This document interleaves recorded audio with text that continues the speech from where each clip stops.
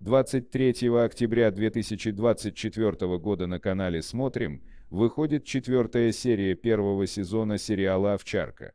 Этот криминальный детектив продолжает увлекать зрителей захватывающими расследованиями и интересными поворотами сюжета.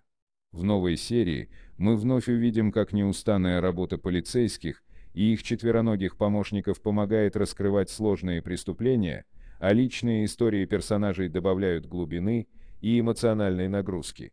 Сюжет «Овчарки» развивается вокруг главного героя опытного следователя, который работает в команде с преданной служебной собакой.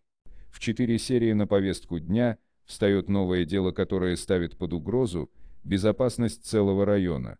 С первых минут мы погружаемся в атмосферу напряжения и неопределенности, когда каждая деталь расследования может оказаться решающей. Героев ждут неожиданные улики, загадочные свидетели и, конечно же, столкновение с преступным миром, в котором действуют свои правила. Особое внимание стоит уделить динамике отношений между людьми и их четвероногими партнерами.